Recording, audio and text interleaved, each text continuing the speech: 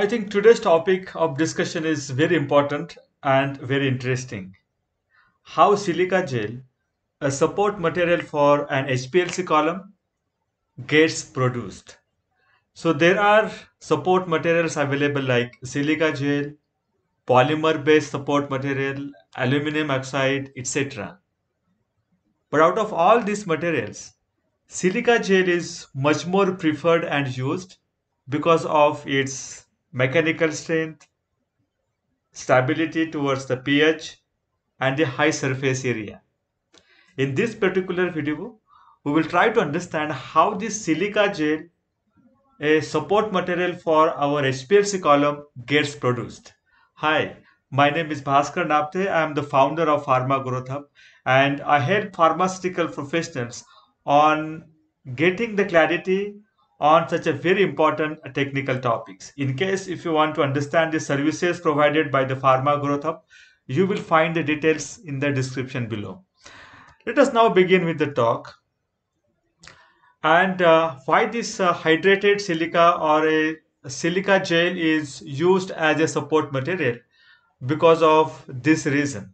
It is favored because of the high mechanical strength, chemical inertness, and the large surface area. So this is the structure of a silica gel and how this silica gel gets manufactured is the point of discussion today. The synthesis uh, involves two-step process. It is a two steps chemical process. The first one is the formation of uh, something called as silicic acid and the followed by the condensation of this silicic acid and then you will get the silica gel as you can see on the right side of your screen. Let us now begin our discussion with the first point that is the formation of silicic acid. How the silicic acid gets formed and you will find the structure of silicic acid over here on the type right side. So silicic acids are formed through a hydrolysis reaction. So this hydrolysis reaction takes, takes place between whom this typically involves reaction between a silicon source and the silicon source like a tetraethyl orthosilicate. What is the tetraethyl orthosilicate or TEOS or tetramethyl orthosilicate that is TMOS with water. So water becomes the source of hydrolyzation in an alcoholic solution let us understand how these reactions can be represented. So this is the source of the silicon, SiOR4, silicon source, water and you get the silicic acid at the end. So R denote the alkyl group like ethyl or methyl and obviously the SiO4 H this represent the silicic acid. You can also find the structure over here on the top right side of your screen. So this is the very first step where the silicic acid gets formed because of the hydrolysis. Then come the step number two, that is a condensation reaction.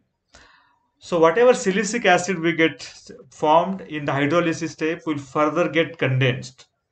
The second step is the condensation of silicic acid which leads to formation of silica gel. Now this process involves the removal of water molecule.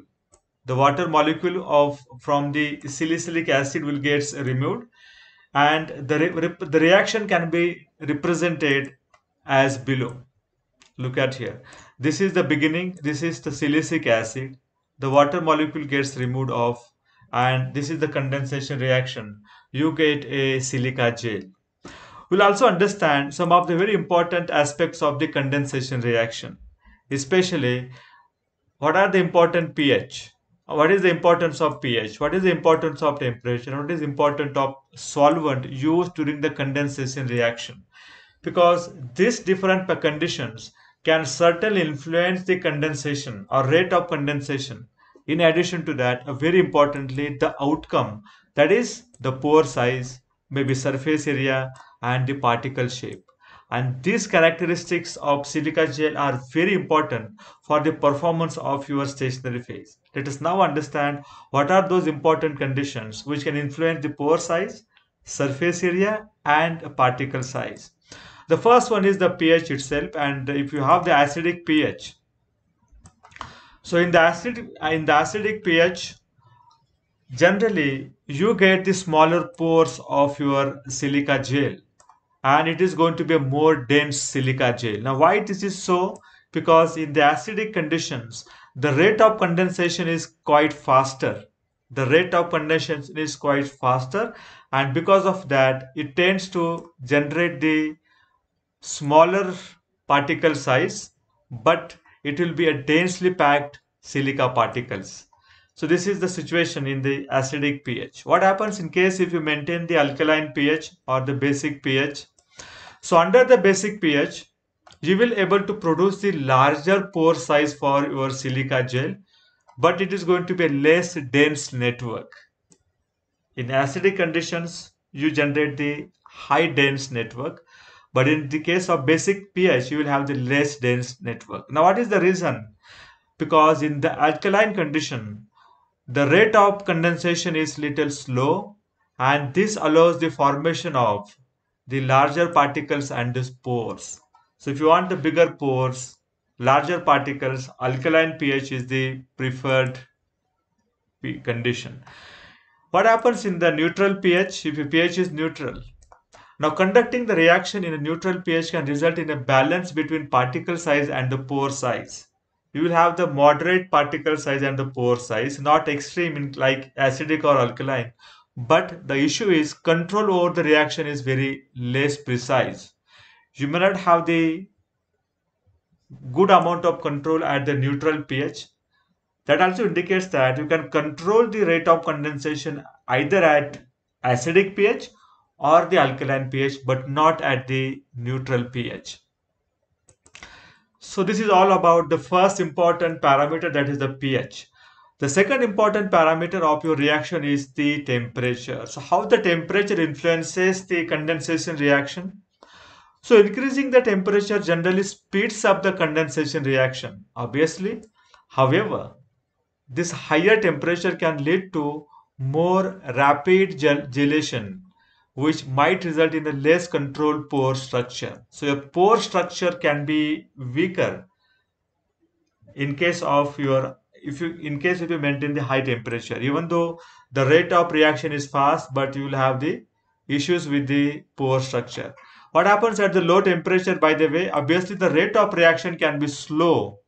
It will take longer time for completing the condensation reaction but the very important point is it is going to be more controlled process now. It is going to be more controlled gelation process and that results in the uniform silica particles and the pore. Isn't it? So it's very important how the silica gel manufacturer controls this very important process parameters like pH, like temperature. And the third one is the, the solvent choice. The solvent used during the condensation reaction can also influence the outcome. So generally the water or alcohol like ethanol or methanol are generally used. Let us now understand if you use the water a polar solvent, what is the possibility? Facilitates, now this particular solvent facilitates the hydrolysis and condensation reactions but can lead to rapid gelation, means very fast gelation, which is going to be a quite less controlled. So water may not be preferred choice if you want to have the more control onto your condensation reaction. In case if you use the less polar or non-polar solvent like alcohols, right, then the gelation reactions get slowed down and that results into a better control over the particle size and the pore structure. I hope you must have now understood why there are different in your silica gel properties and this could be attributed to these different factors like pH, temperature and the solvent used. Thank you so much for uh, watching this video and in case if you have any question about this video, please don't hesitate to put in the comment box. Thank you so much.